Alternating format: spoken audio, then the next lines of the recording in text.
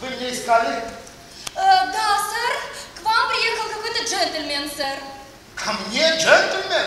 Да, сэр. Зачем? Э, а он ехал на автомобиле, что-то там сломалось. И он спрашивает, не одолжите ли вы ему немного бензина. Понятно, И понятно. сожалеет о доставленном беспокойстве. Понятно.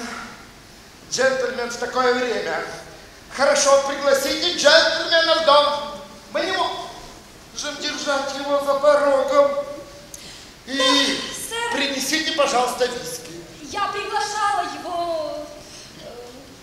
Ну, значит, пригласите голосом человека, который вот, вот, вот, принесет виски.